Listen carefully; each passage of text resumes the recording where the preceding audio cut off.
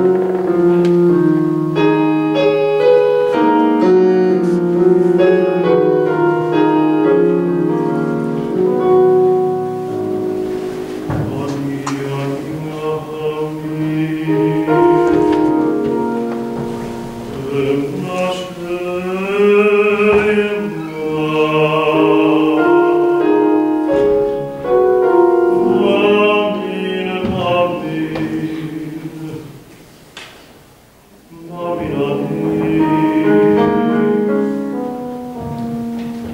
Yeah, I'll be